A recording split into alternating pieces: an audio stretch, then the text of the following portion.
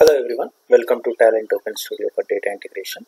In this tutorial, we will be working on T-map component. This is one of the, the most comp important component in Talend.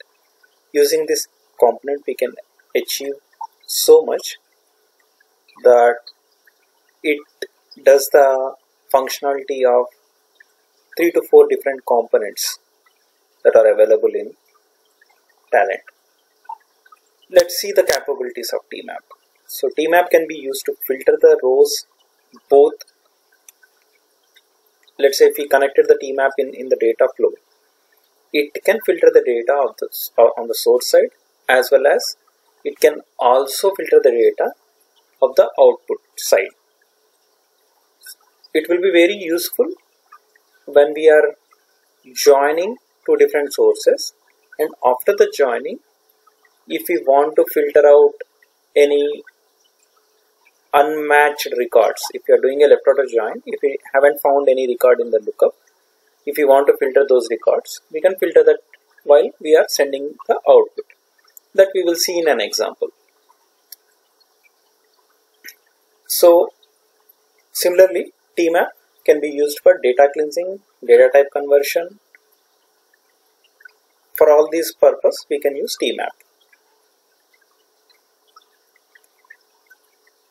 Tmap, as discussed, can be used to join multiple sources. But the available joins in Tmap are inner join and outer join. T using Tmap, we can uh, use different transformation functions on the data, such as if and else, decode, and then substring in string. We can use so many functions that are available in Talend using Tmap. So let's go ahead and take a example to understand what we have discussed so far. So let's take two source files. Here in this job I have taken orders data and returns data. So for simplicity I have reduced the number of records to very minimum. So I kept only three records in orders data and in returns data we have four records.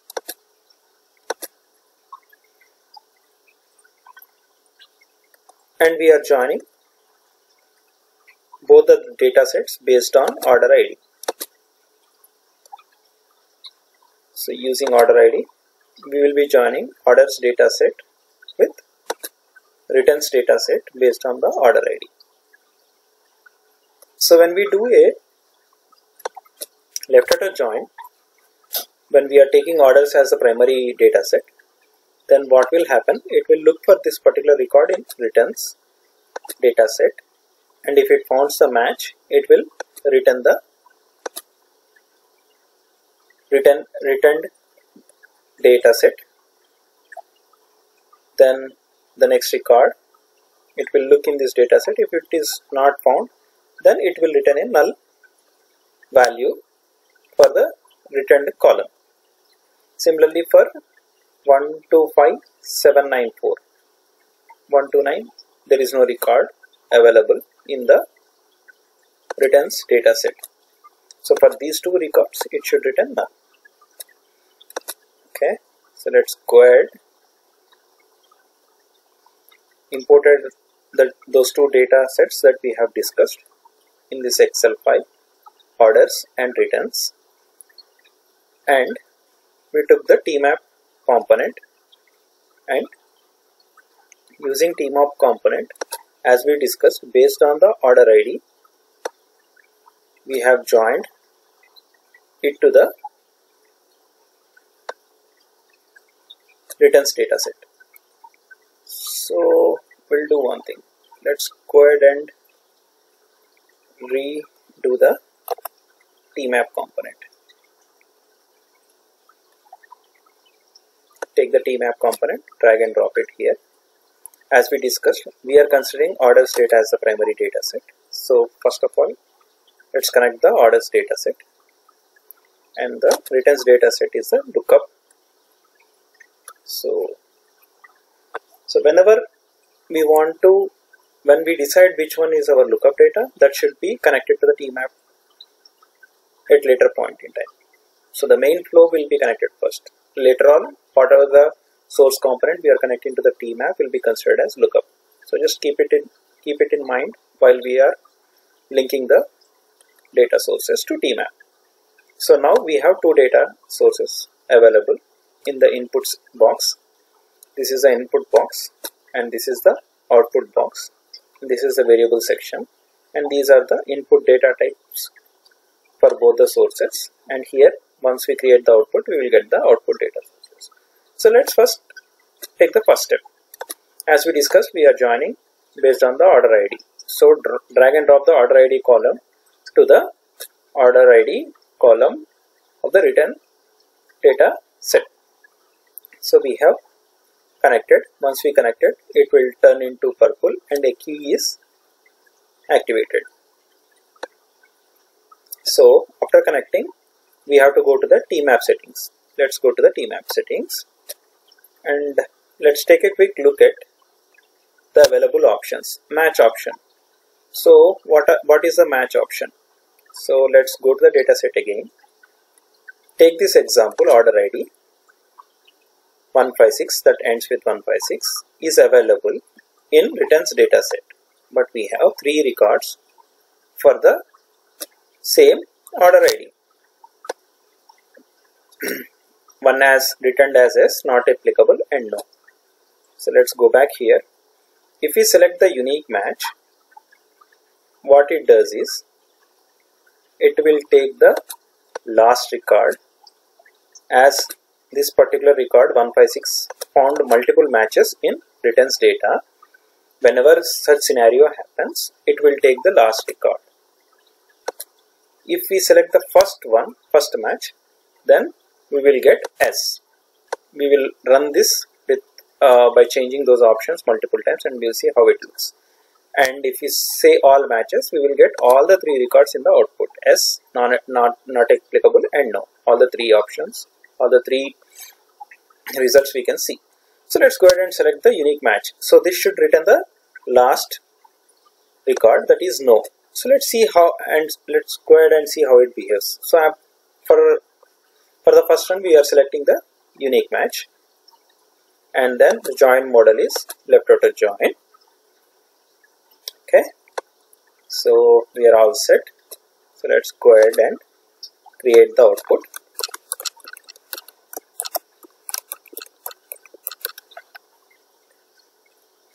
And link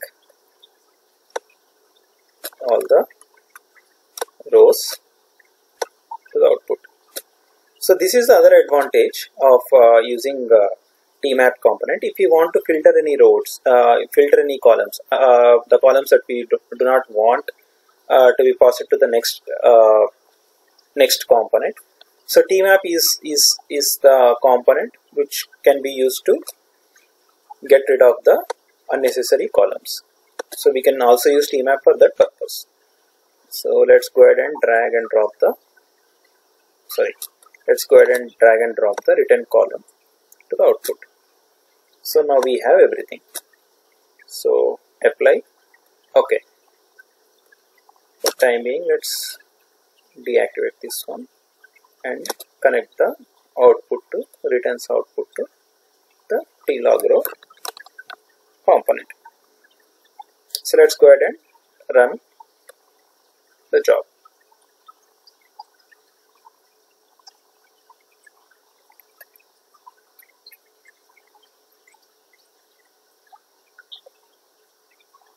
Okay. So clear, go to tlog.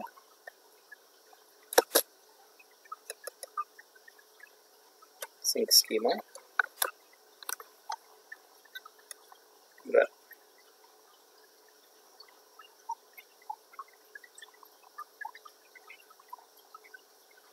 okay so let's carefully see the result. Set and let's see whatever we have discussed we have got the similar results or not. So all I am concerned about 156 because this only order has a matching with our returns data set so only 156 is available in the return uh, in the returns data set which will be matched. So the other two records do not have in the returns data set so by default they will get null. As written in the return column they will be null. So in the return column they are null. Okay? And we have got the value as no. So why we have got the value as no? Because we have select the unique match. What unique match does? When we have multiple matches it will return the last last value. So let's go ahead and tamper with that option so match model. Go to the match model. Open it. First match. We are selecting the first match. So what what it does what it should does it should give us s as the return value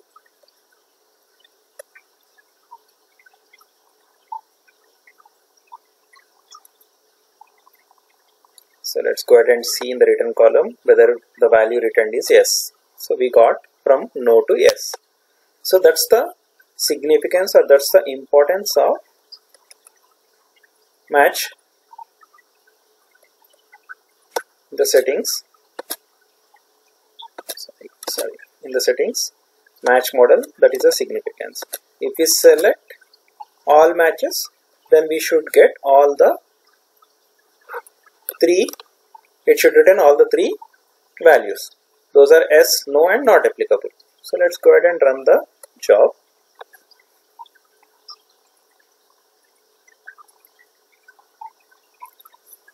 There you go. So we have got s not applicable and null. So i hope you understand what is the significance of match model right? Match model in Talend so now all the three options we have covered. So let's go ahead and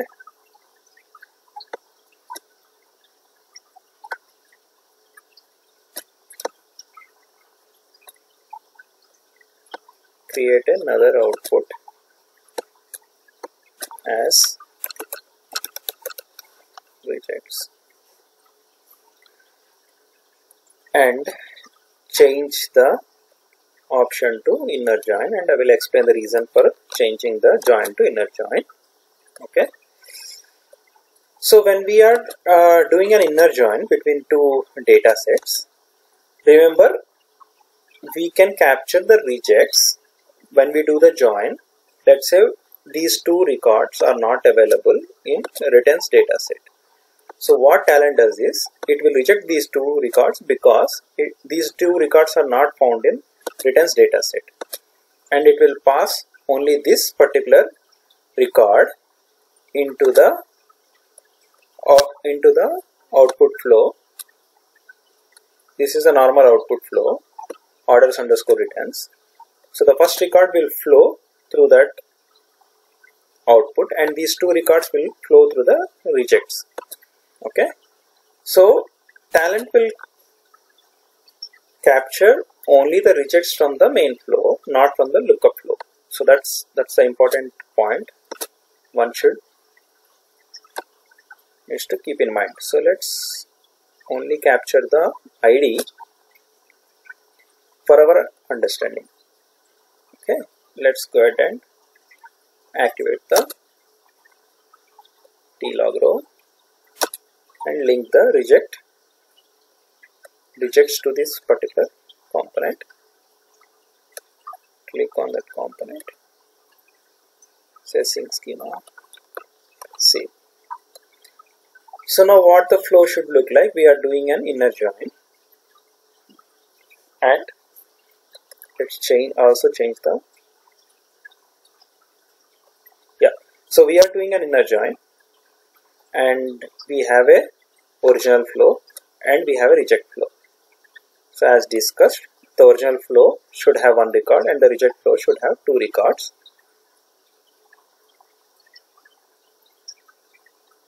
We might get three records, but because we are returning all the three matches that we found in the lookup that we can see, but let's first go ahead and run the job. clear run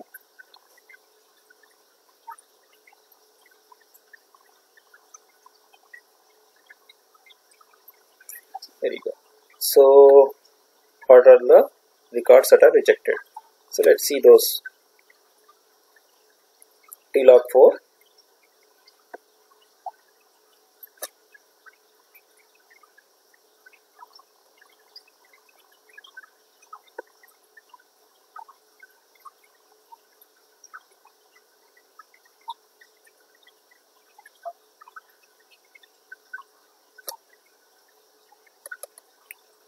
I forgot to select one option. That's the reason why I we are able to see the so in order to capture the see I mean there is no difference.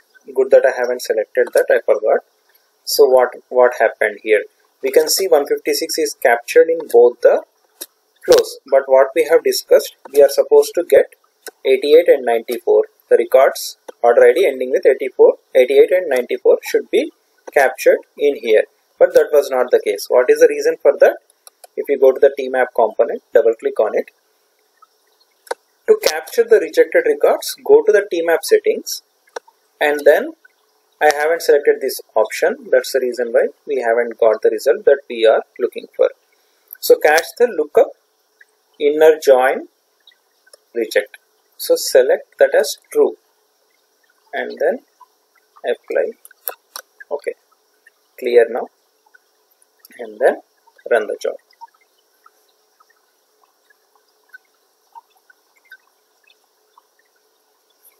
So there you go. So after selecting that option we can see these two records are captured by the rejected row. As I said it will capture the reject rows of the main flow not the lookup flow. In the lookup flow we have this record that is not present in the orders data but this record is not captured. So always remember the reject flow will capture the main data set not the lookup data set. Okay? And these are the three values. S not applicable and no. So we have covered how to capture the join reject rejected data. So if you want to we if we have a, any scenario where we need to analyze the data that time we can use the reject output the way we have used here and then select this option and capture capture the rejected data. So let's move on and uh,